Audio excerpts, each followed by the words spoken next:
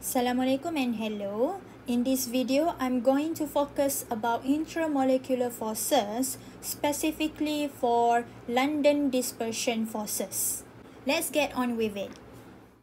For London dispersion forces is very common and normal because it exists in all atoms and molecules. And London dispersion forces also arise from a result of temporary dipole induced in a molecule.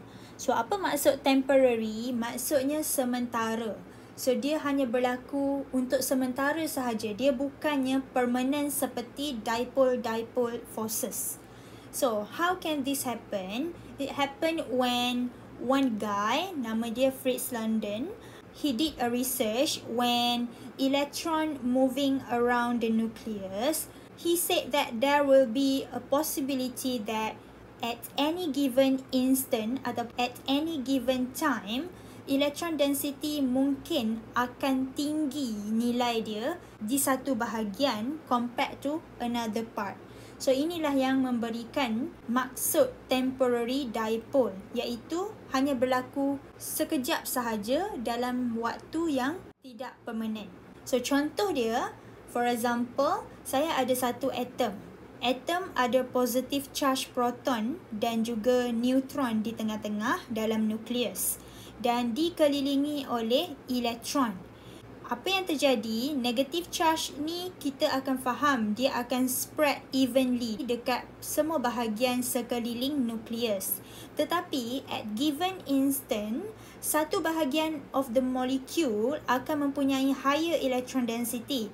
Seperti mana di bahagian kanan ini so charge adalah negatif so that's why akan ada partial negatif dekat bahagian kanan dan yang bahagian electron density yang rendah lower electron density at the left side akan jadi partial positive dan di bahagian inilah atom or molecule can become a small temporary dipole dan maknanya dia akan induce a dipole on a neighboring atom and molecule.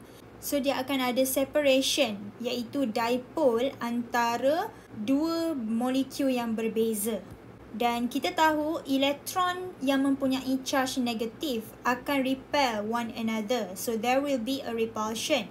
So repulsion itu akan induce a similar dipole on neighboring atom yang menyebabkan neighboring atom akan attract one another between opposite charges.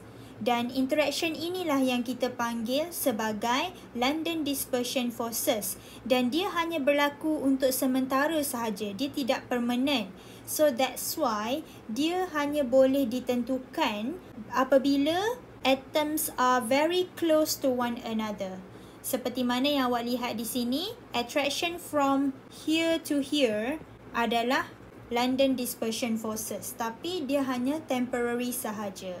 So itulah yang dimaksudkan dengan London dispersion forces yang exist in all atoms and molecules. And the difference between it with dipole-dipole forces dipole-dipole forces memang akan permanent. Tapi untuk London dispersion forces dia hanya temporary sahaja. So that's all for this video. Saya harap everyone clear about the explanation of London dispersion forces.